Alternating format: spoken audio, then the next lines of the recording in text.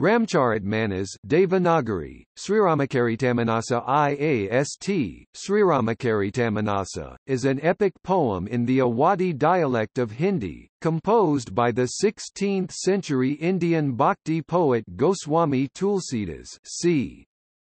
1532–1623. Ramcharitmanas literally means, "...lake of the deeds of Rama", Ramcharitmanas is considered one of the greatest works of Hindi literature. The work has variously been acclaimed as the living sum of Indian culture, the tallest tree in the magic garden of medieval Indian poetry, the greatest book of all devotional literature, and the best and most trustworthy guide to the popular living faith of the Indian people. Tulsidas The Sanskrit name of Tulsidas can be transliterated in two ways. Using the IAST transliteration scheme, the name is written as Tulasidasa, as pronounced in Sanskrit.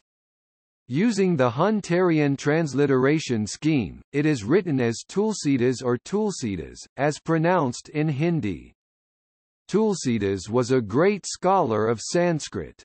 However, he wanted the story of Rama to be accessible to the general public and not just the Sanskrit-speaking elite. In order to make the story of Rama as accessible to the layman as to the scholar, Tulsidas chose to write in Awadhi, a dialect of Hindi which was the language of general parlance in large parts of North India at the time. Tradition has it that Tulsidas had to face a lot of criticism from the Sanskrit scholars of Varanasi for being a bhasha vernacular poet. However, Tulsidas remained steadfast in his resolve to simplify the knowledge contained in the Vedas, the Upanishads and the Puranas to the common people. Subsequently, his work was accepted by all. Ramcharitmanas, made available the story of Rama to the common man to sing, meditate and perform on. Ironically, when he wrote it, Tulsi was ostracized by Hindu fundamentalists then represented by local priests for having corrupted an epic written in Sanskrit. The writing of Ramcharitmanas also heralded many a cultural tradition, most significantly that of the tradition of Ramlila, the dramatic enactment of the text. Ramcharitmanas is considered by many as a work belonging to the Saguna school of the Bhakti movement in Hindi literature. Topic background Tulsidas began writing the Ramcharitmanas in Ayodhya in Vikram Samvat 1631 1574 CE. The exact date is stated within the poem as being the ninth day of the month of Chaitra, which is the birthday of Rama, Rama Navami. Ramcharitmanas was composed at Ayodhya, Varanasi and Chitrakoot. India was under the reign of Mughal Emperor Akbar 1556 1605 CE during this period. This also makes Tulsidas a contemporary of William Shakespeare. The Ramcharitmanas is written in vernacular Awadhi language. The core of the work is considered by some to be a poetic retelling of the events of the Sanskrit epic Ramayana 1 by Valmiki. The Valmiki Ramayana is centered on the narrative of Rama, the scion of the family tree of King Raghu of the Sun dynasty. Rama was the crown prince of Ayodhya and is considered in Hindu tradition as the seventh avatar of Vishnu. However, the Ramacharitmanas is by no means a word-to-word -word copy of the Valmiki Ramayana nor an abridged retelling of the latter. Ramcharitmanas has elements from many other Ramayanas written earlier in Sanskrit and other Indian dialects as well as stories from Puranas. Tulsidas himself never writes Ramcharitmanas as being a retelling of Valmiki Ramayana. He calls the epic Ramcharitmanas as the story of Rama, that was stored in the mind Manasa of Shiva before he narrated the same to his wife Parvati. Tulsidas claims to have received the story through his guru, Narharidas. Tulsidas was a naive Akita child and the story was stored in his mind Manasa for long before he wrote it down as Ramcharitmanas. Some understand this passage of the Ramcharitmanas to mean that Tulsidas at first could not grasp the story fully as he was a naive young boy. His guru graciously repeated it again and again so that he could understand and remember it. Then he narrated the story and named it Ramcharitmanas as Shiva himself called it. The epic poem is, therefore, also referred to as Tulsikrit Ramayana literally, the Ramayana composed by Tulsidas. The Ramcharitmanas is a masterpiece of vernacular literature. Some believe it to represent a challenge to the dominance of high-class Brahmanical Sanskrit, echoing the revolt of Buddha against Brahmanical elitism. However, this interpretation appears faulty as Tulsidas himself was a Brahmin and often talks very highly of the Brahmins in Ramcharitmanas and other books written by him. It was the attempt of Tulsidas to reconcile the different stories of Rama and to bring the story within the reach of the common man.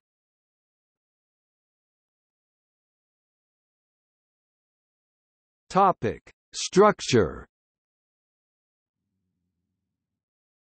Ramcharitmanas consists of seven khandas literally, books, or episodes, cognate with cantos. Tulsidas compared the seven khandas of the epic to seven steps leading into the holy waters of Lake Manasarovar, which purifies the body and the soul at once. The first two parts, Bal Kand childhood episode and Ayodhya Kand Ayodhya episode, make up more than half of the work. The other parts are Aranya Kand forest episode, Kiskindha Kand Kishkinda episode, Sundar Kand pleasant episode, Lanka Kand Lanka episode, and Uttar Kand later episode. The work is primarily composed in the Chaupai meter four-line quatrains, separated by the Doha meter two-line couplets, with occasional Soratha and various Chand meters.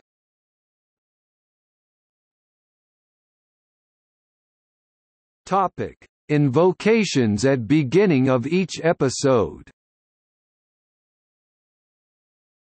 Every chapter of the Ramcharitmanas begins with an invocation or Mangalacharan. It is customary of the Indian tradition of writing that the author begins a new book with invocation to the gods to ensure that the Sankalpa is finished unhindered. The first three or four verses of each kand are typically in the form of invocations. Bal Kand begins with a hymn honoring the goddess Saraswati and the god Ganesha, the deities related to knowledge, wisdom, speech and auspiciousness. Ayodhya Kand begins with the famous verse dedicated to the god Shiva, may he in whose lap shines forth the daughter of the mountain king, who carries the celestial stream on his head, on whose brow rests the crescent moon, whose throat holds poison and whose breast is support of a huge serpent and who is adorned by the ashes on his body, may that chief of gods, the Lord of all, the destroyer of the universe, the omnipresent Shiva, the moon-like Sankara, ever protect me, Aranya Kand's first verse again extols Shiva, I reverence Bhagavan Sankara, the progeny of Brahma, the very root of the tree of piety, the beloved, devotee of King Sri Rama, the full moon that brings joy to the ocean of wisdom, the sun that opens the lotus of dispassion, the wind that disperses the clouds of ignorance, who dispels the thick darkness of sin and eradicates the threefold agony and who wipes off all calumny and obloquy. Kiskindha Kand commences with the following verse, lovely as a jasmine and a blue lotus, of surpassing strength, repositories of wisdom, endowed with natural grace, excellent bowmen, hymned by the Vedas, and lovers of the cow and brahmanas, who appeared in the form of mortal men through their own maya deluding potency as the two noble scions of Raghu, the armors of true Dharma, friendly to all and journeying in quest for Sita, may they both grant us devotion. Sundar Kand begins with a hymn in the praise of Rama, I adore the Lord of the universe bearing the name of Rama, the chief of the Raghus line and the crest jewel of kings, the mine of compassion, the dispeller of all sins, appearing in human form through his Maya deluding potency, the greatest of all gods, knowable through Vedanta the Upanishads, constantly worshipped by Brahma the creator, Shambhu Shiva, and Sesa the serpent god, the one who bestows of supreme peace in the form of final beatitude, placid, eternal, beyond the ordinary means of cognition, sinless and all-pervading. Lanka Kand begins with this hymn, I adore Sri Rama, the supreme deity, the object of worship even by Shiva, the destroyer of Kama, the god of love, the dispeller of the fear of rebirth, the lion to quell the mad elephant in the form of death, the master of yogis, attainable through immediate knowledge, the storehouse of good qualities, unconquerable, attributeless, immutable, beyond the realm of Maya, the lord of celestials, intent on killing the evil doers, the only protector of the brahmanas, beautiful as a cloud laden with moisture, who has lotus-like eyes and appeared in the form of an earthly king. Uttar Kand begins with the following hymn, I unceasingly extol Sri Rama, the praiseworthy lord of Janaki, Sita, Janaka's daughter and the wife of Rama, the chief of Raghu's line, possessed of a form greenish-blue, the color of the neck of a peacock and adorned with an insignia of Brahma Pada, the lotus foot, which testifies to his being the greatest of all gods rich in splendor, clad in yellow robes, lotus-eyed, ever propitious, holding a bow and arrow in his hands, riding an aerial car named Puspaka, accompanied by a host of monkeys and waited upon by his own brother Laxmana.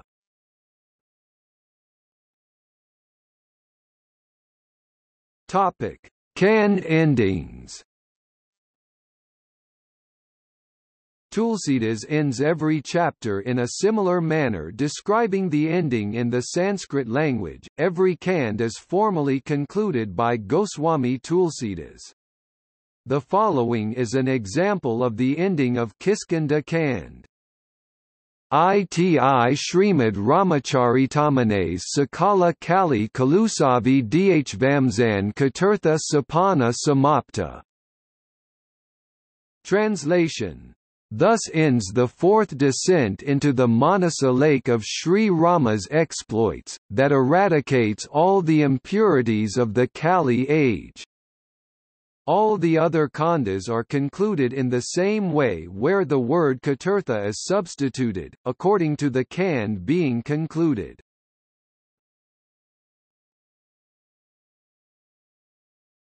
Topic: Narrative Ramcharitmanas is structured around three separate conversations. The conversations happen between Shiva and Parvati, sages Bharadwaj and Yajnavalkya and finally Kakbhushundi and the king of birds, Garuda. Some scholars are of the opinion that there is also an underlying personal conversation between Tulsidas and Lord Rama all through the text of Ramcharitmanas. Topic Bal Kand The child episode Tulsidas begins the story with an invocation to various deities, his guru and saints who have preceded him and those who will succeed him in the future. Homage is paid to Valmiki for bringing the Ramayana to the devotees of Rama. Next are introduced and praised the various characters of the epic beginning with the birthplace of Rama, the holy city of Ayodhya. Praises are bestowed on Dasharatha, the king of Ayodhya and Rama's father, and his queens Kausalya, Kaikeyi and Sumitra. Tulsidas then praises King Janaka, the father-in-law of Rama, and his family. He goes on to praise the brothers of Rama, Bharata, Lakshman and Shatrughna and sings the glories of Hanuman, the constant companion to Rama, Sugriva, the monkey king and Jambavan, the leader of bears. Next, the characters of Sita and Rama are introduced. The story of Ramcharitmanas is then underway.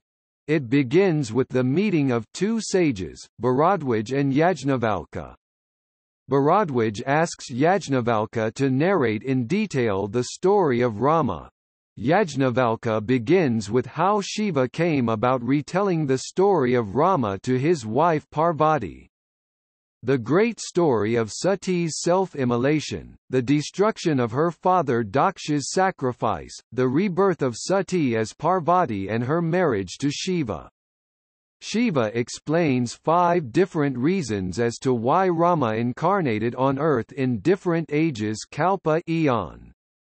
Each of these stories is discussed in detail, with the primary message being that Rama incarnated on earth to protect the righteous who follow the path of Dharma.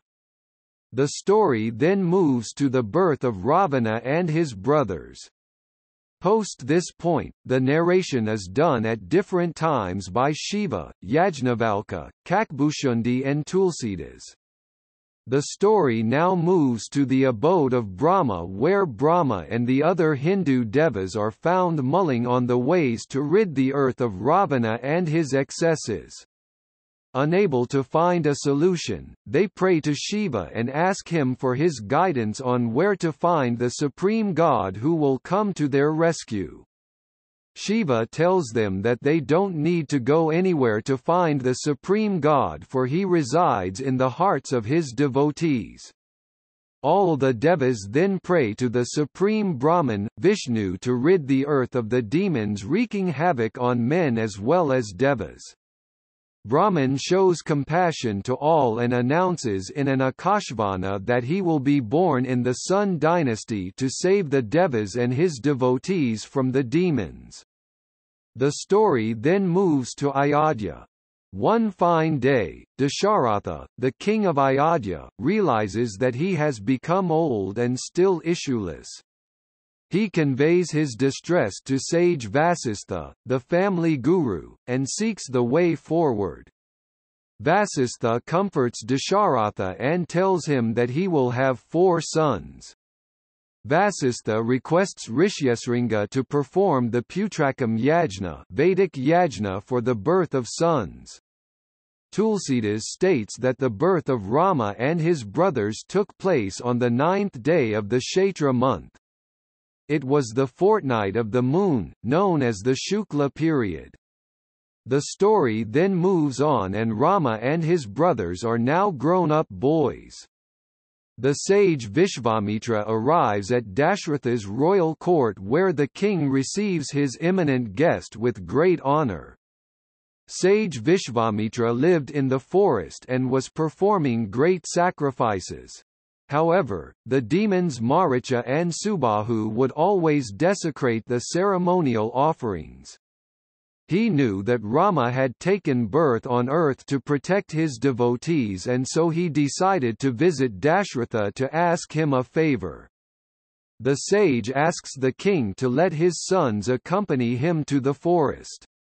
Reluctantly the king agrees. Rama knew beforehand the intention of Vishvamitra in asking him to come along with him. He assures the sage that he would obey his commands. Lakshman kills Subahu and Rama kills Tataka and defeats Maricha, the dreaded demons. The story then moves to the deliverance of Ahalya. Rama, Lakshman and Vishvamitra venture on a journey and reach the beautiful kingdom of the Videhas, Mithila. The king of Mithila, Janaka, welcomes the great sage and asks him who are the two boys accompanying him. Janaka is overcome by great emotion as he is able to sense the true nature of their mission. The brothers then set out to discover the beautiful city and visit Janaka's garden. This is an important section of the Manas as it portrays the first meeting of Rama and Sita. In the meanwhile, King Janaka arranges a Swayamvara ceremony for his daughter Sita. A Swayamvara ceremony is a Vedic ritual in which a prospective bride selects her groom from among a group of suitors who attend the ceremony. Sita falls in love with Rama at first sight in Janaka's garden and prays to Parvati that she may get Rama as her husband. King Janaka sends a messenger to invite Rama, Laxman and sage Vishvamitra to attend the Swayamvara. Janaka puts a condition to identify the right groom for Sita. The great bow of Shiva by the name of Pinaka was kept in the arena. Any suitor who would be able to string Pinaka would be married to Sita. Many princes try but fail to even nudge the mammoth bow. This causes great distress to Janaka who wonders aloud if the earth has become devoid of brave men. This statement of Janaka angers Lakshman who retorts that no one talks in this vein, when a gathering like this, has the presence of scions of the Sun dynasty. Rama gently nudges him to keep calm as Vishwamitra asks him to break the bow and make Janaka happy once again. Rama steps in and effortlessly lifts and strings the divine bow. In a swift move, he breaks the bow. The breaking of Pinaka causes a great noise that disturbs the great sage Parashurama in his meditation and he storms into the Swayamvara arena in great anger vowing to kill whoever had dared to break the bow of Lord Shiva. Lakshman enters into an argument with Parashurama, paying scant respect to the sage who was known for his bursts of anger and was known to slay whoever dared to oppose him. Ultimately, Rama brings him around. Parashurama comes to know the real nature of Lord Rama as the ultimate Brahman, pays his respects and leaves for the forests for meditation. Sita places the wreath of victory around the neck of Rama in accordance with the rules of the Swayamvara and is thus wedded to him. However, Sita being his beloved daughter, Janaka desires to conduct a grand marriage of Sita and Rama in accordance with both Vedic and Laukik traditional customs. Janaka dispatches messengers to Ayodhya to inform Dasharatha and his family about the marriage of Rama and Sita and invites them for the formal consummation of marriage ceremony. Dasharatha starts with a great marriage procession, consisting of Rama's family, friends and well-wishers in addition to Shiva, Brahma and all devas who take up human form and depart for Mithila.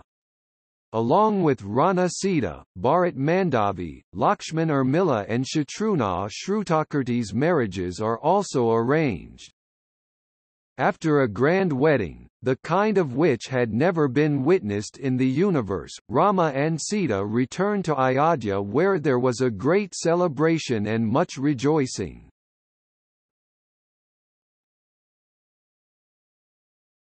Topic: Ayodhya Kand The Ayodhya episode Ayodhya was described as being like a heaven on earth ever since Rama and Sita came back from Mithila. As King Dasharatha was getting old, he wanted to install his son Rama as prince regent. He decided to start the ceremonies for his coronation the very next day. The Devas however became very concerned at the prospect of Rama remaining in Ayodhya and not pursuing the wicked Ravana, and vanquishing him. Something had to happen if Rama was to embark on his mission to rid the world of Ravana. They approached goddess Saraswati for help. King Dasharatha has three wives. Queen Kaushalaya is the principal queen and the mother of Rama. Queen Kaikeyi is the mother of Bharata and Queen Sumitra is the mother of Lakshman and Shatrughna. Saraswati decides to influence the mind of one of Queen Kaikeyi's maid-servants named Manthara. Manthara's mind harbors evil intentions and she begins to talk to Queen Kaikeyi in harsh and conceited tones. She finds fault with Kaikeyi for being supportive of the king's plan of installing Rama, as prince regent when her own mind tells her that Bharata would clearly be a greater king. At that time Bharata is in Kaikeya country visiting his uncle and so he is unaware of what is happening in Ayodhya. Slowly Queen Kaikeyi's mind is poisoned. Manthara reminds Queen Kaikeyi of the two boons that the king had promised her. Kaikeyi enters the private room in the royal palace, where the king gives audience to his queens and awaits Dasharatha. Dasharatha is greatly alarmed and concerned that Kaikeyi is sitting in the sulking chamber, while the entire population of Ayodhya is greatly happy and eagerly anticipating the coronation of Rama. Queen Kaikeyi speaks harshly to Dasharatha, which surprises the king. She reminds him of the two boons he promised her and to his bewilderment, asks him to install her son Bharata as prince regent and send Rama into the forest for 14 years. Queen Kaikeyi is unmoved by Dasharatha's lamentations and finally the king emotionally breaks down. The king's assistant Sumantra sends for Rama with a request to meet his father. Queen Kaikeyi speaks to Rama and explains to him the boons that she had asked of his father. Rama is actually the supreme personality of Godhead incarnated on earth, yet he accepts his stepmother's request and decides to leave the kingdom as it serves his purpose as well. The people of Ayodhya remonstrate against Queen Kaikeyi who firmly believes that she is doing the right thing. Rama attempts to dissuade Lakshman and Sita from joining him but is unable to do so. The scene becomes very emotional as Rama, Sita and Lakshman greet their mothers before finally going to Dashratha to take leave of him. Dasharatha attempts, in vain, to try to talk Sita out of joining Rama in the forest. The residents of Ayodhya can't spare the thought of being away from Rama and decide to join him in the forest. Rama, Sita, Lakshman and Sumantra go incognito and in the dead of the night leave the city and move into the forest. They leave for a place called Sringavarapur after which they meet Guha, the Nishad king. They arrive at Prayag, the holy city where the rivers Ganges, Yamuna and Saraswati meet. Rama meets with the sage Bharadwaj at his ashram. Rama is overwhelmed with the reception and love shown by the people inhabiting the banks of the Yamuna. Rama then meets sage Valmiki, the author of the Ramayana at Chitrakoot Dham. Valmiki recognizes the true opulence of Rama and sings his praises. At this point Tulsidas takes great care to describe the beauty of the land of Chitrakoot with some inspiring poetry. Rama asks Sumantra to return to Ayodhya which saddens Sumantra. He not only wants to stay with Rama, he is also afraid of going back only to face the anger and wrath of the citizens of Ayodhya. Rama persuades him to go back. On returning to Ayodhya, Sumantra meets Dasharatha, who asks him the whereabouts of Rama. The pain of separation from Rama is too much for Dasharatha who passes away crying Rama's name. Sage Vashishtha knows that Rama will not return to the kingdom and so immediately sends an envoy to call Bharata and Shatrughna back to Ayodhya. Bharata learns of all that has happened and chastises his mother, Queen Kaikeyi. He is greatly pained and blames himself for Rama leaving Ayodhya. He accuses her of bringing ruin to the family. Shatrughna comes across Manthara and beats her in rage. They approach Queen Kaushalaya and see her in a sorry state. Bharata begs for her forgiveness and loudly laments while the queen attempts to pacify him. She asks him to carry out his duty and rule Ayodhya, but Bharata cannot bear the thought of sitting on the throne with his father dead and his brothers in exile in the forest. The cremation of King Dasharatha takes place.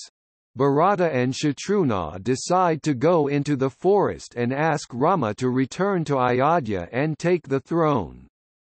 Many citizens as well as the royal family, who have been grieving ever since Rama had left them, decide to join the brothers. The Nishads see the approaching royal party and become suspicious. Guha approaches Bharata to understand his motive for bringing such a large party to the forest. He assumes that Bharata has some sinister motive. Bharata shows his love for Rama and Guha is moved to tears by his love for his brother. The royal procession then moves forward to Chitrakoot.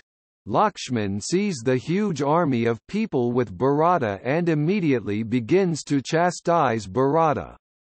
Rama counters this by praising the greatness of Bharata, leaving Lakshman feeling sorry for his harsh words.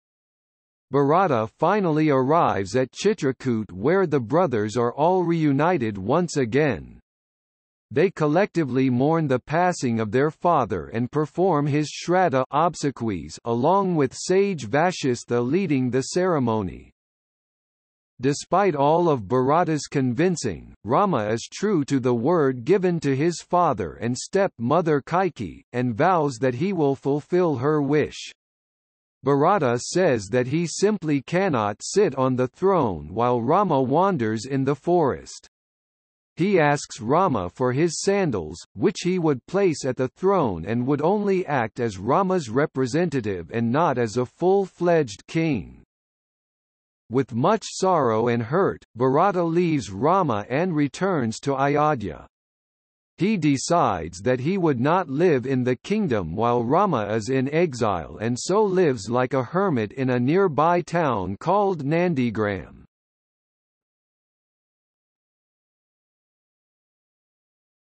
Topic: Aranya Kand The Forest episode Rama, Sita and Lakshman wander in the forest and come across the hermitage of a sage called Atri. Atri sees them approaching and is overcome with great joy. Sita is embraced by Atri's wife, Anasua. Anasua talks to Sita at length about the duties of a devoted wife. Rama, Sita and Lakshman venture further into the forest and encounter Virata. Virata attempts to capture Sita. Rama kills him by burying him in a ditch. They then visit the ashram of sage Sarabanga. Rama asks him of where he should go for shelter in the forest. He is advised to visit the sage Sutiksna. As Rama approaches Sutiksna, the latter comes out of his meditation. He tells Rama that he had been awaiting his arrival and had even turned down the offer of entering the heavenly planets. Thirteen years pass. Continuing on their journey through the forest, they meet with sage Agastya where Rama pays his respect to the sage. Agastya gifts divine weapons to Rama and advises him to venture further into the forest and into the region of Dandaka. Rama meets with the eagle, Jatayu. Rama, Sita and Lakshman take up abode at Panchavati and build a beautiful ashram, as per the advice of Agastya. Lakshman becomes nostalgic of the past and begins to talk harshly about Kaikeyi, Rama pacifies him and explains that it is sinful to speak of his mother in such a way. The story takes a new turn, as Rama, Sita and Lakshman are approached by the sister of the demon king Ravana, called Surpanakha. She immediately takes a liking to Rama and falls in love with him. She disguises herself and talks to Rama in sweet tones. Rama rejects her advances explaining that he is already married and advises her to approach Laxman as he is unmarried. However, Laxman also rejects her advances. Surpanakha takes it as a great insult to be spurned like this, and attempts to hurt Sita. Laxman takes hold of his sword and lops off Surpanakha's ear lobes and nose. Feeling humiliated, Surpanakha leaves the forest and goes to the abode of her brothers Kara, Dusana and Trisira. They are angry at the treatment meted out to their sister and leave with the intention of killing Rama. All three brothers are vanquished by Rama. Surpanakha is greatly upset and visits Ravana at his residence in Lanka. She explains all that has happened, after which Ravana calls for his old friend Maricha. Ravana hatches a plot and asks Maricha to disguise himself as a golden deer, so that Ravana may then kidnap Sita. Maricha has already felt the power of Rama as mentioned in Balakanda and is apprehensive, however, he thinks that he is going to die either way since Ravana will kill him in rage for refusing him. Ravana and Marik immediately leave for Rama's forest abode. Maricha takes his position and instantly Sita is attracted by his deer form. Rama knows that Ravana's intentions and orders Sita to place her shadow Maya Sita in her place, while she would hide in the fire. She asks Rama time and time again to hunt for the deer and bring it to her. Rama runs after the deer and is soon quite a far distance away from the ashram. Rama releases an arrow and hits the deer. Impersonating Rama's voice, Marik shouts out to Lakshman to help him. Maya Sita hereafter called simply Sita hears the cry and orders Laxman to go help his brother. Ravana, while posing as a begging minstrel, uses this opportunity to forcibly kidnap Sita from the ashram. Jatayu, the eagle, sees Ravana's sinful act and attempts to fight with him, but Ravana has too much power and cuts off Jatayu's wings and leaves him for dead. Rama and Lakshman return to find the ashram empty. They anxiously set out to find Sita and find the severely wounded eagle. Jatayu dies in Rama's lap and receives liberation. As they continue to look for Sita they come across the hermitage of Shabari. Tulsidas says that Shabari washes the feet of Ram with tears from her eyes and feeds him half-eaten wild berries to ensure he gets only sweet ones. She is given liberation by Rama. The brothers then head towards the Pampasarovar lake.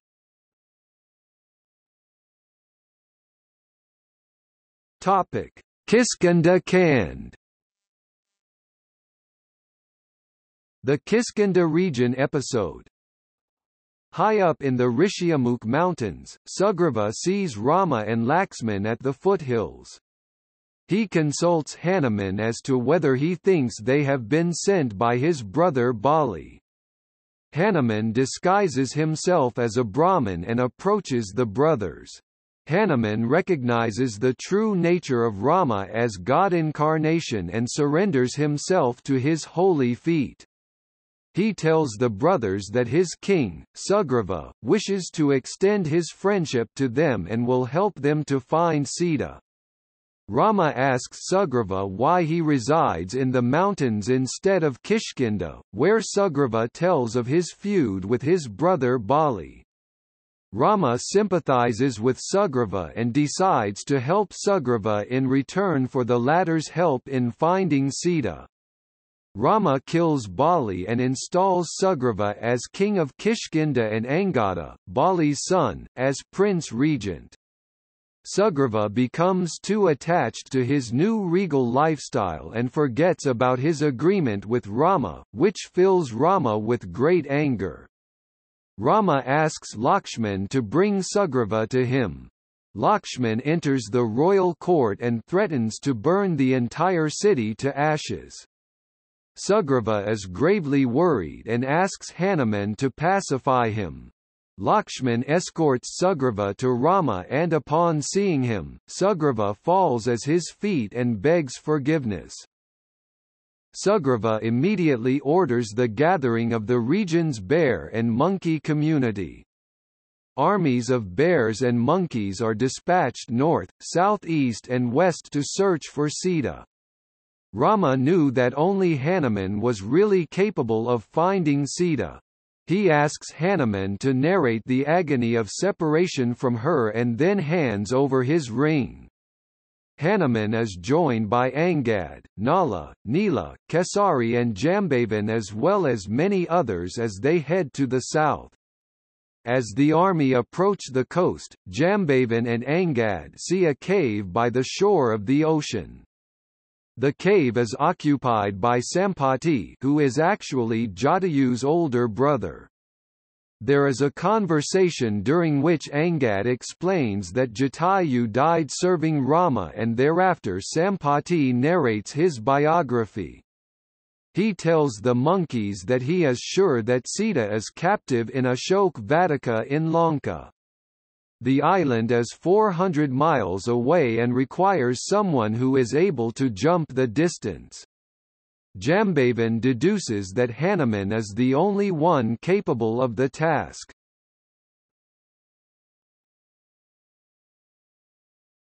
Topic: Sundar Kand The pleasant episode Hanuman takes Jambavan's suggestion and immediately takes off for Lanka.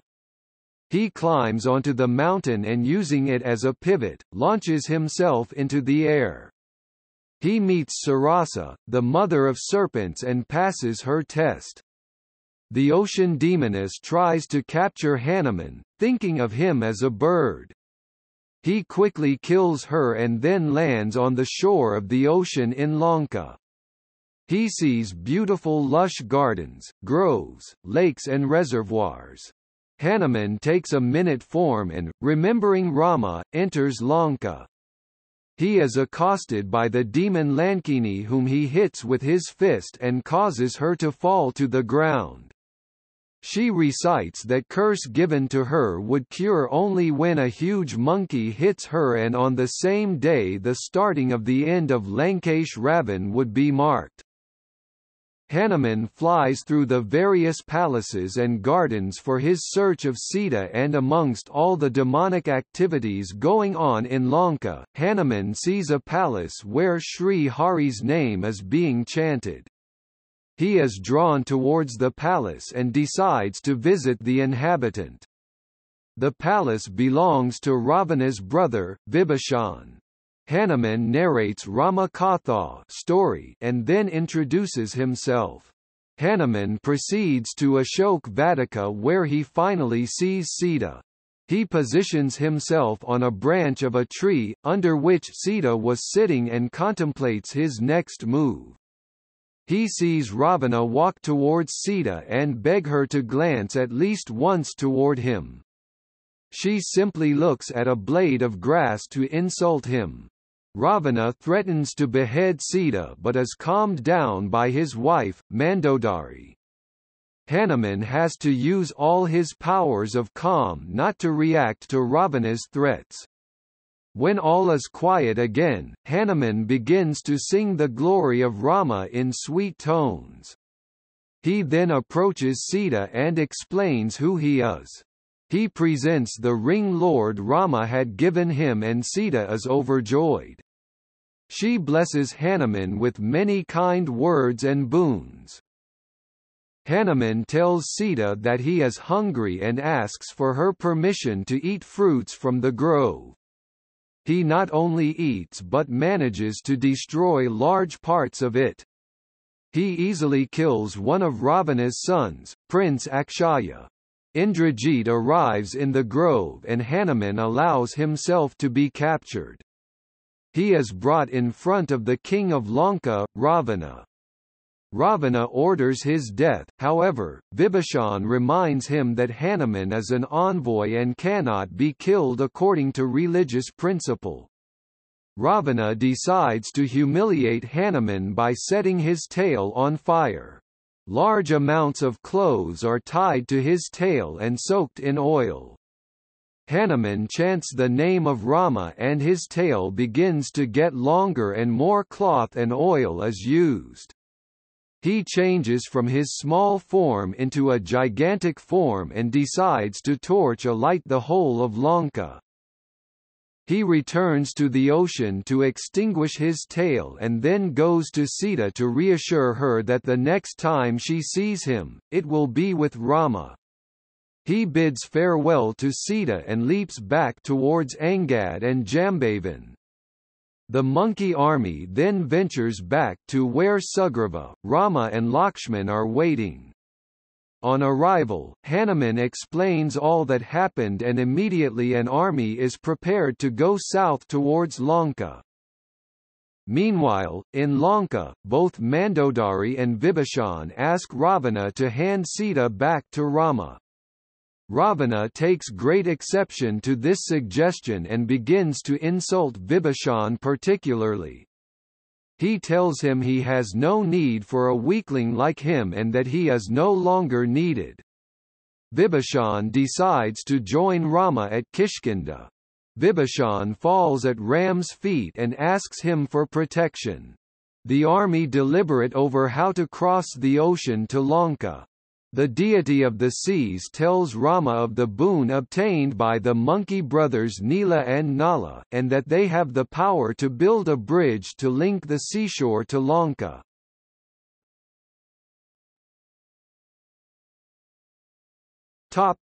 Lanka Kand.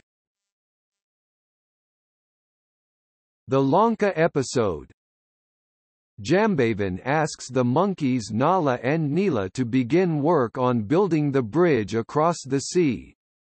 The Manas states that entire mountain ranges were used by Nala and Nila to complete their objective.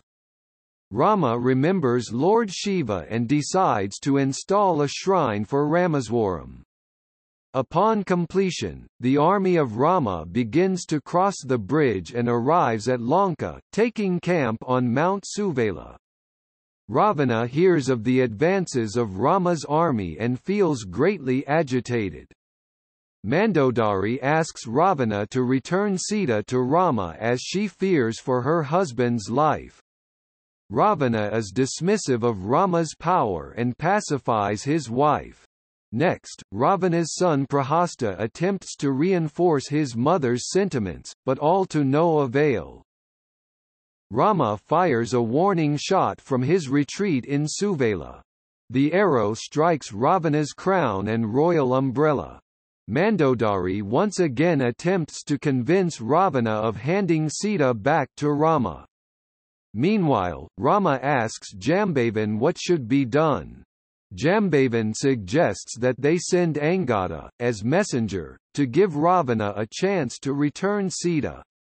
On reaching Ravana's court, Angada explains he is the ambassador of Rama, and tells Ravana that he still has time to save himself from destruction.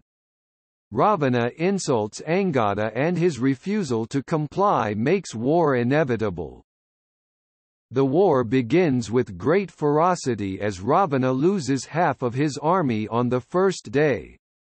Indrajit, Ravan's son, is required to enter the battle far earlier than he expected. He severely wounds Lakshman with his special weapon, the Sang. Hanumanji is ordered to fetch the doctor of Lanka called Sushena. Sushena tells Rama that there exists a herb called Sanjivani which can only be found in the Himalayan mountains. It is the only hope to save Lakshman. Hanuman immediately reassures Rama that he shall find this herb. As Hanuman is about to leave, Ravana orders the demon Kalanemi to impede him. However, Hanuman kills Kalanemi with ease. Hanuman reaches the mountain and can't find the herb. In his frustration he decides to take the entire mountain to Lanka. Hanuman makes good speed towards Lanka when suddenly he is shot by an arrow as he approaches Nandigram. Hanuman is mistaken to be a demon by Bharat. Hanuman falls to the ground together with the great hill. Hanuman regains consciousness and recognizes that Bharata is Rama's brother. He continues on to Lanka where he delivers the Sanjivani herb and Sushena treats Lakshman. Rama embraces Hanuman with great pride and affection. Ravan takes the news of Lakshman's recovery very badly and decides to awaken his brother Kumbhakarna. Kumbhakarna kills indiscriminately and wreaks much havoc. Rama releases an arrow which kills him instantly. The death of his brother scares Ravan greatly. Indrajit hastily tries to arrange a ceremony to receive great boons and powers but is interrupted by Hanuman and Angada. Lakshman takes up arms against Indrajit and kills him. Rama throws numerous arrows at Ravana but is unable to kill him. He asks Vibhishan on how to kill his brother after which Rama finally kills Ravana. The war is over. Ravana's funeral takes place and Vibhishan is crowned the king of Lanka. Hanuman carries the happy news to Sita in Ashok Vatika. Finally Rama and Sita are reunited. Rama and the army prepare to depart Lanka and return towards Ayodhya. Rama, Sita, Lakshman and the senior monkeys travel back in Ravana's flying vehicle, Pushpak Viman.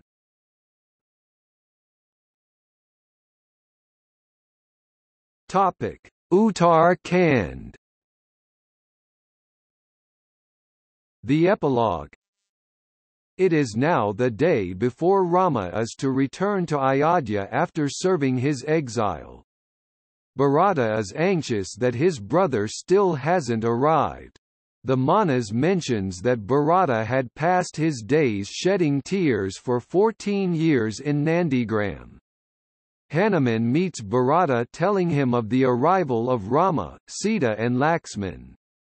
Bharata rushes to Ayodhya to tell the citizens of the great news. As the Pushpak Viman landed in Ayodhya the citizens shouted chants of Glory be to Ramchandra. Rama, Sita and Laxman collectively touch the feet of the sage Vashishta on arriving in Ayodhya and thereafter greet all that have gathered in the assembly. Lastly Rama meets Bharata with great affection and love. Rama's coronation takes place and he is finally crowned king of Ayodhya. Shiva arrives to glorify the festivities further and asks Rama of the boon that he may have firm and undeviating devotion of Rama's feet. In conclusion to the tale, Rama has twin sons named Lava and Kusha. The other brothers each have two sons as well, it is mentioned that great sages like Narad and Sanaka visit Ayodhya to meet with Rama and to see his great city. In the subsequent passages of Uttar Kand the biography of Saint Kakbushundi is given, followed by a description of what is to be expected in the current age of Kali Yuga. Shiva ends his narration of the Rama Katha to Parvati as does Kakbushundi to Garuda. It is not mentioned whether Yajnavalkya finishes his recitation to Bharadwaj. Finally, Goswami Tulsidas concludes his retelling of the Sri Ramcharitmanas. The Rudrastakam in Sanskrit is a part of this kanda.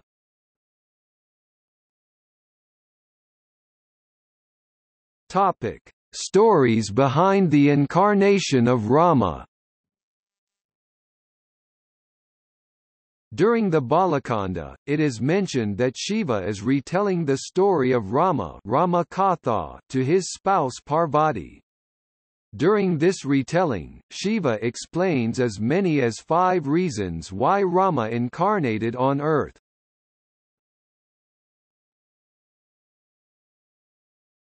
Topic: Jay and Vijay The brothers Jay and Vijay are the two favored gatekeepers of Hari. Due to a curse, by the Brahmin Sanaka and his three brothers, Jay and Vijay were born in the species of the demons. One took the birth of Hiranyakashipu and the other was born as Hiranyaksha. The Supreme incarnated himself as Varaha in order to kill Hiranyaksha, while incarnating as Narasimha to kill Hiranyakashipu.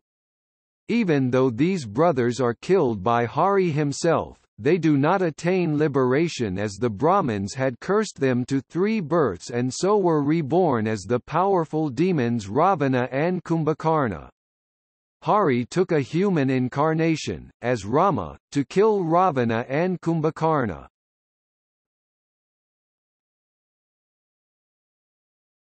The curse of Narad Muni Narad Muni was wandering in Himalayan mountains and begins to think about Vishnu. He instantly falls into a deep meditative trance.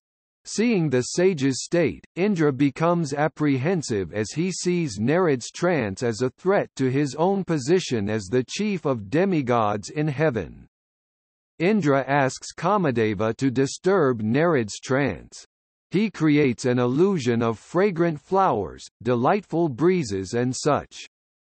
Heavenly damsels are called but all this has no effect on the sage. Kamadeva accepts defeat and falls at Narad's feet, addressing him with deep humility. He recalls all that happened to Shiva and becomes puffed up with pride of his defeating of Kamadeva. Shiva admonishes him not to repeat the story to Hari. Narad visits Vishnu at his abode and unable to control his pride, retells his episode with Kamadeva, ignoring all that Shiva had advised. Vishnu further fans Narad's pride by telling him that his steadfast vow of celibacy is so strong that he can never be smitten.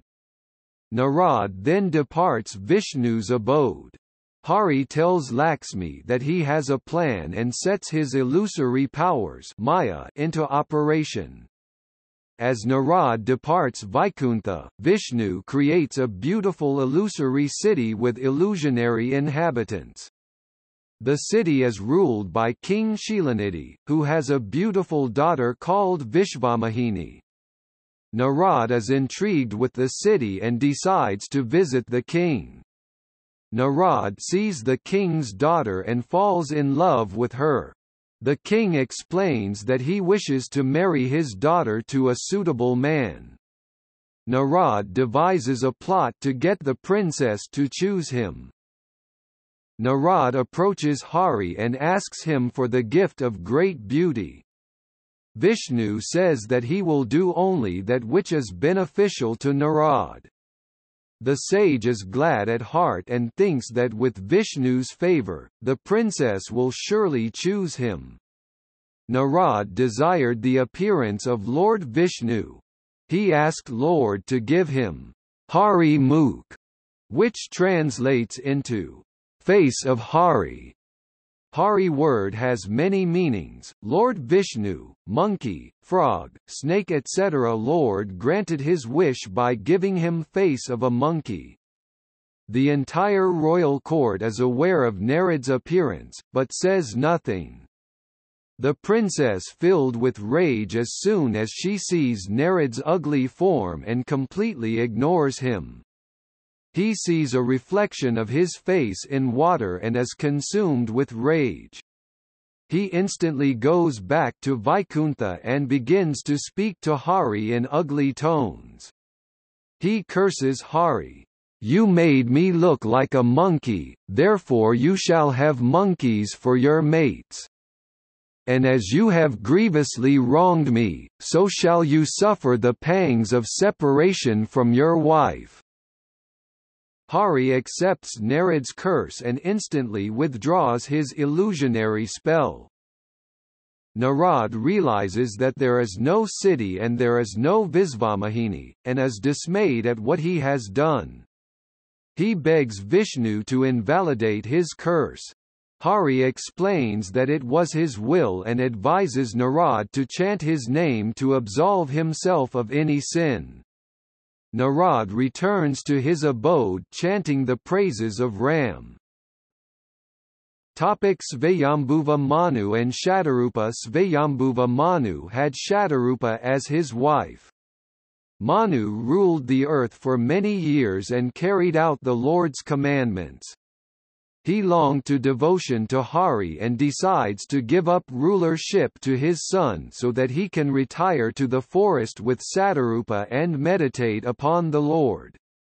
Manu and Satarupa settle at the banks of the Sarayu River and devoutly repeat the twelve-syllable mantra, calling out to who is the source of many Brahmas, Vishnus and Shivas emanate. Some commentators indicate that the 12-syllable mantra is the Vishnu mantra Om Namo Bhagavate Vasudevaya. Rambhadracharya comments that the 12-letter mantra is the coupled mantra for Sita and Rama. Manu and Shatarupa first sacrifice food and then water and are finally willing to sacrifice air. Brahma, Hari and Shiva call on Manu but Manu and Satarupa are resolute and do not swerve on their sacrifices. A great voice from the heavens tells Manu, in sweet tones, to ask for a boon. Rama and Sita approach Manu in a beautiful form, which leaves Manu overcome with emotion. Manu explains now that he and Satarupa have seen the Lord's lotus feet, all their desires have been met. Manu has one longing but doesn't know how to ask the Lord. Finally he asks, O gracious Lord, I tell you my sincere wish, I would have a son like you. I have nothing to conceal from you, the Lord announces that it shall be, however, where would he find a son like himself? The Lord tells Manu that he himself would be a son to him. The Lord then asks Satarupa of her wish. She says that she greatly likes the boon received by her husband and wants the same. Bowing at the Lord's feet, Manu then asks one more favor. He asks that he be dependent on which is granted. The Lord then commands the couple to dwell in Indra's capital in heaven. The Lord explains that after some time Manu would be born as the king of Ayodhya, Dasharatha and Satarupa as Kausalya. He would then manifest himself in the royal household as their son. He reassured the couple that their desire would be accomplished.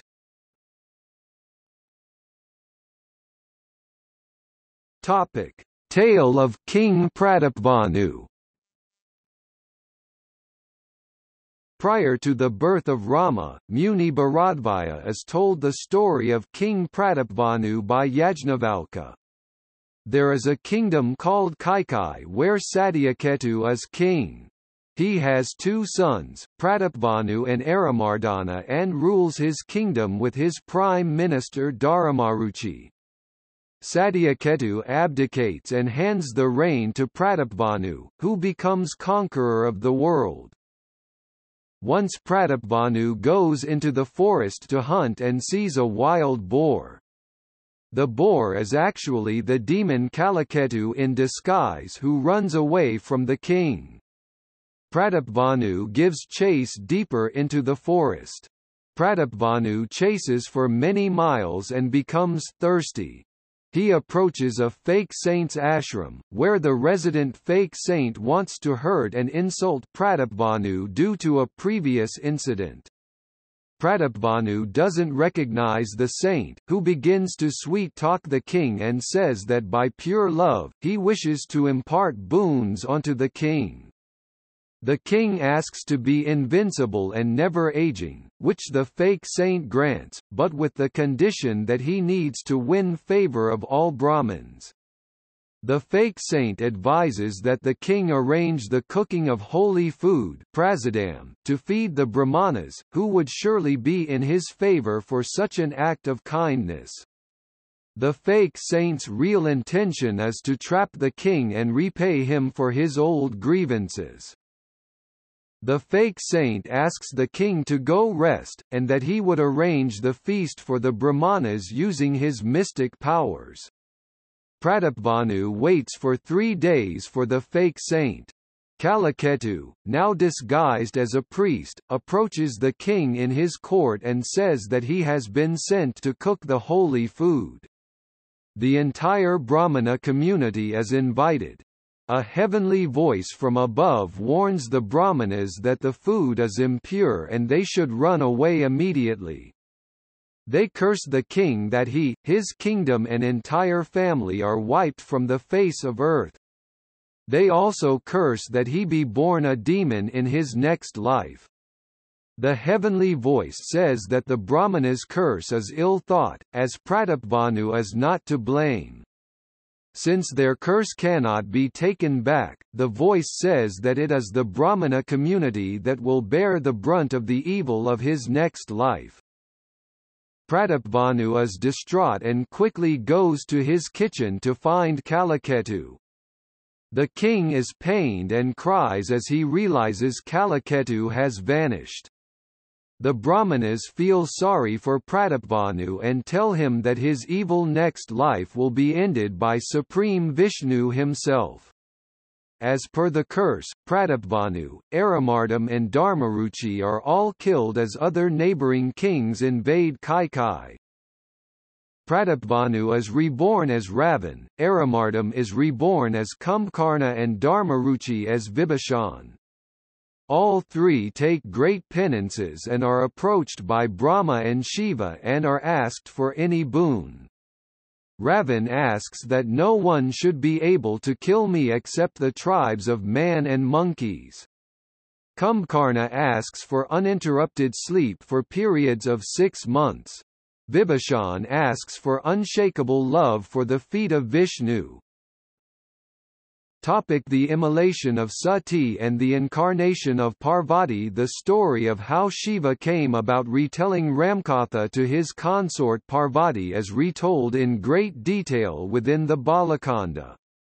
This part of the story is narrated by San Yajnavalkya to Bharadvaj Muni.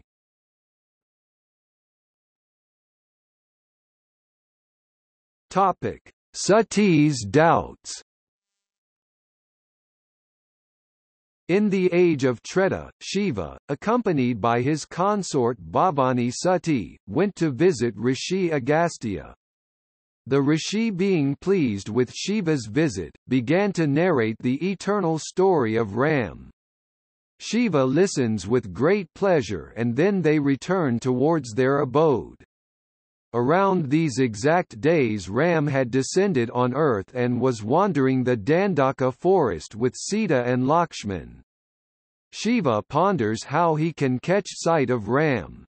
He finally sees Ram, who is frantically searching for Sita and instantly joins his palms and prays, "Glory to the Redeemer of the universe, who is truth, consciousness and bliss."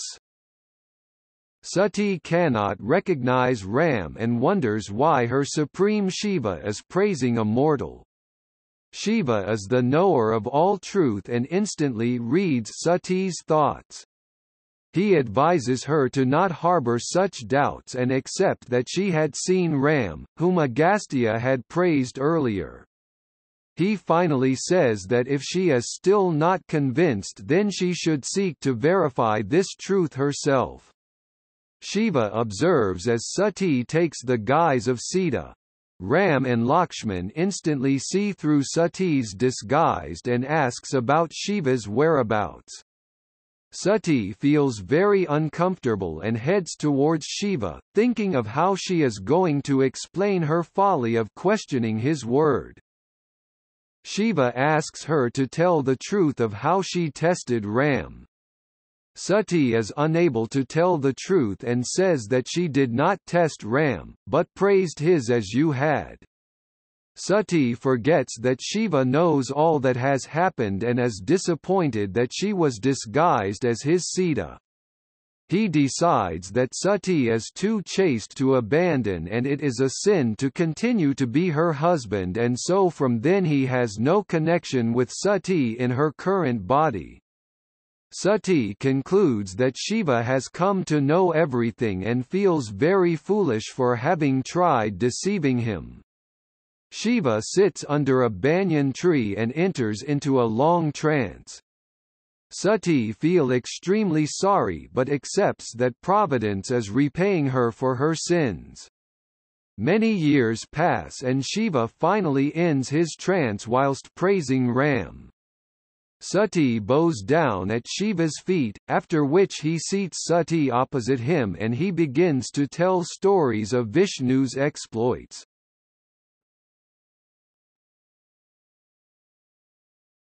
Topic: Daksha's sacrifice While Shiva is narrating the stories of Vishnu, the air is filled with celestial beings. Sati asks Shiva what the occasion is. Shiva explains that her father Daksha has organized a great sacrifice where many demigods were invited. All except Brahma, Vishnu and Shiva were invited as Daksha had developed a hatred towards the gods. Sati thinks of her father and asks if she may visit him at this time. Shiva says that they have no formal invite and that all of Sati's sisters are invited but because of his animosity towards Shiva, her father has not invited us. Shiva tries to reason with Sati, that no good can come of her attending, but Tulsidas explains that a daughter's ties to her father are very strong. When she reaches her father's abode, no one welcomes her apart from her mother.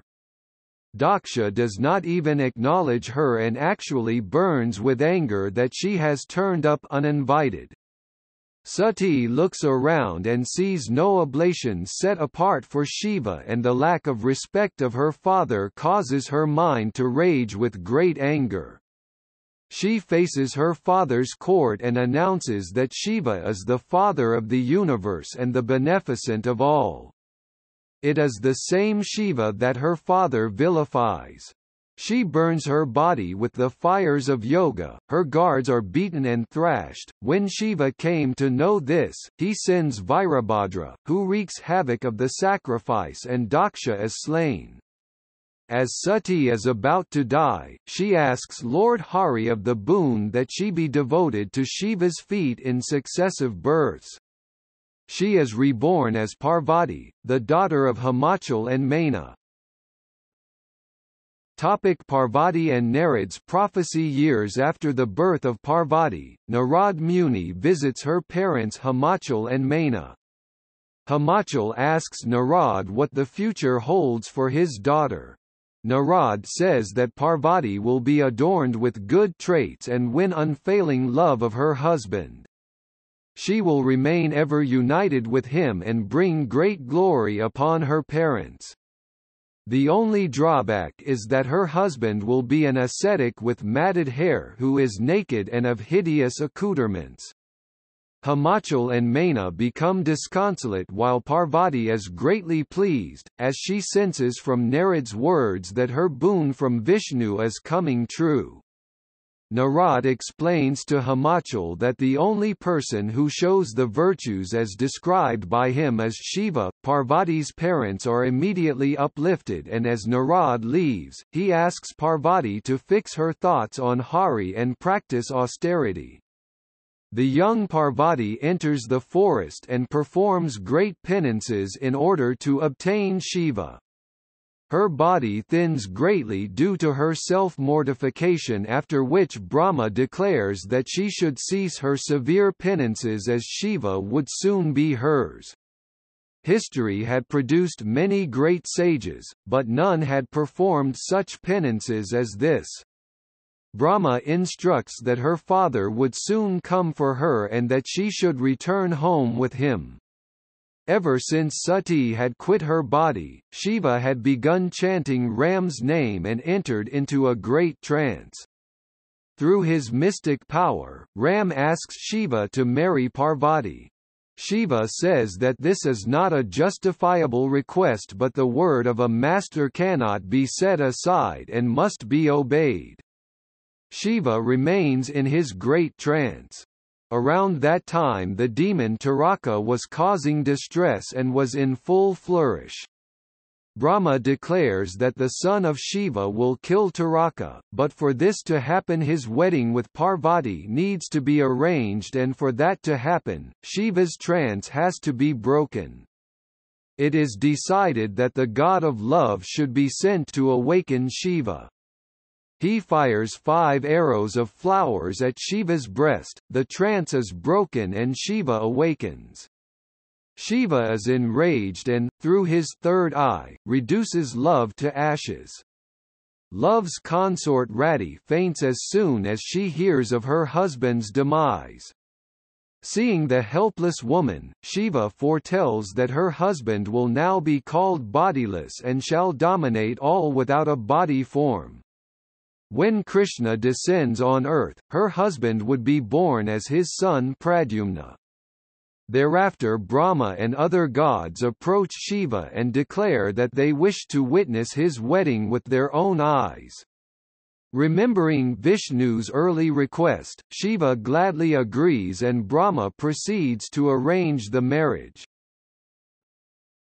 The wedding of Shiva and Parvati Shiva has no real family and so his attendants begin to adorn him for his wedding to Parvati. His hair is formed into a crown with serpents forming a crest. Serpents form his earrings, bracelets and adorn his neck and he is smeared in ashes and has lion's skin wrapped around his loins. He heads the wedding procession and Vishnu and Brahma, as well as a host of spirits, Gandharvas and Danavs follow behind. After the wedding, Parvati and Shiva return to Kailash where Parvati asks questions around Rama's divinity. Here Shiva begins his narration of Ram Leela.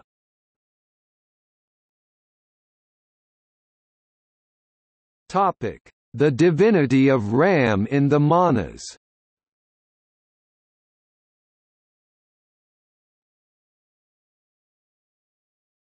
Topic: Ram's divine birth On the ninth day of the Chaitra month, the Manas describes that the sun is at its meridian and the climate is neither cold nor hot. There is a cool, soft and fragrant breeze. The woods are full of blossom and the rivers are in full flow. Brahma deduces that the time for Ram's birth is approaching and the heavenly beings all crowd over the skies to glimpse sight of the auspicious moment. The sky resounds of music and songs as the heavenly beings offer their praises to the Supreme Personality of Godhead.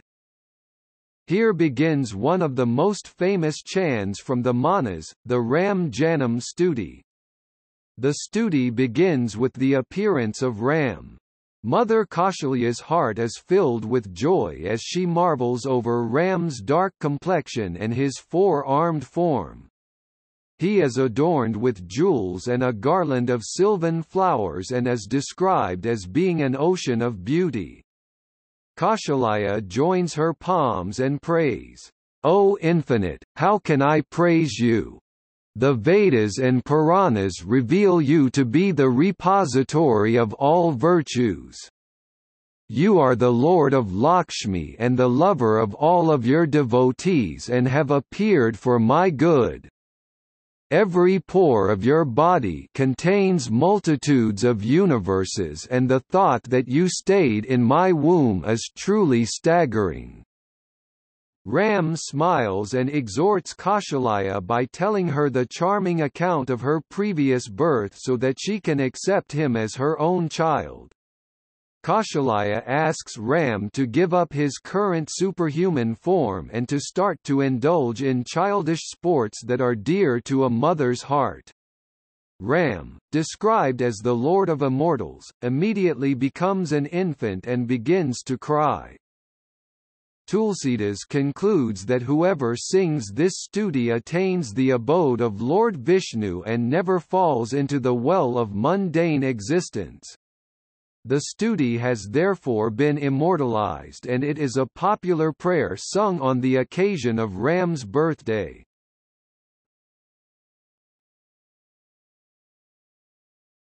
Topic: Deliverance of Ahalya. Ahalya, the wife of Rishi Gautam, was a beautiful woman. Indra, king of the gods, was tempted and decided to seduce her with trickery. Early morning Rishi Gautam when the dawn had arrived go down to the nearby Ganges for his usual morning bath. While the rishi was bathing at the river, Indra assumed Gautam's form and visited Ahalya, fooling her into thinking he was her husband.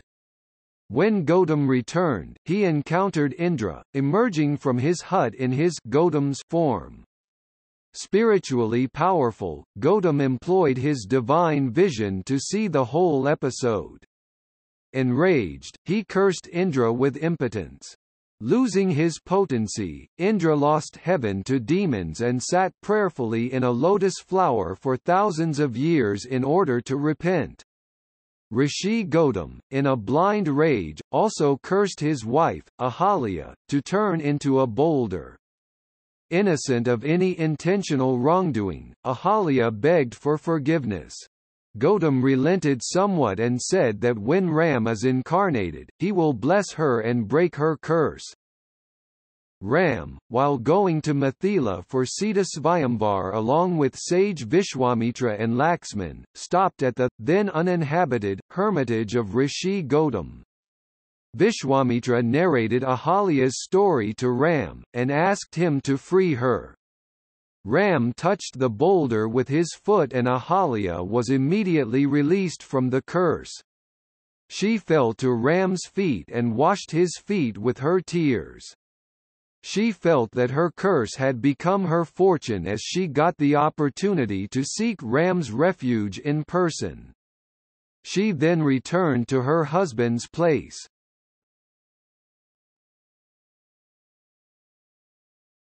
Topic: The abrupt ending. Many scholars have commented on the sudden ending to the Manas. Valmiki's Uttar Kand goes into great detail about Sita going into the forest, as a result of disapproving gossip of the citizens of Ayodhya, during the rule of Ram over Ayodhya. Sitaji asks Mother Earth to receive her and Ram leaves his human form and returns to his celestial abode.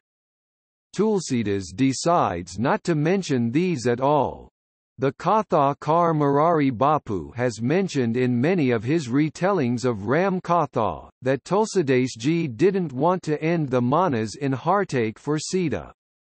Tulsidas refers to Sita as his mother as well as the mother of the entire universe many times in the poem and so, on an emotional level, this becomes very understandable. She has endured enough pain throughout the manas and so ends his retelling at a relatively happy moment. It is said that there are some Vaishnav devotees who will only recite the Balakanda of the Manas, as this is seen as the happiest period of Ram and Sita's Leela on earth.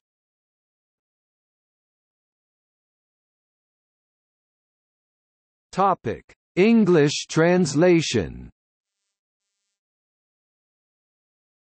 An unpublished English poetic translation of Ramcharitmanas is provided by late Binda Prasad Khatri of New Market, Banda, Uttar Pradesh.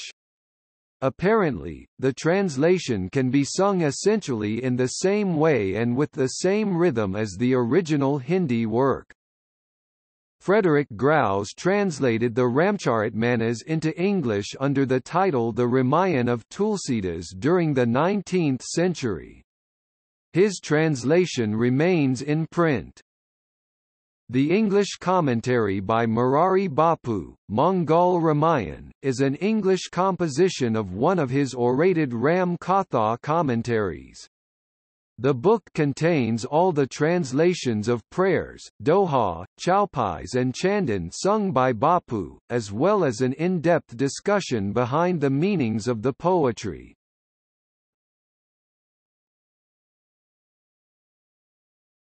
Topic. See also.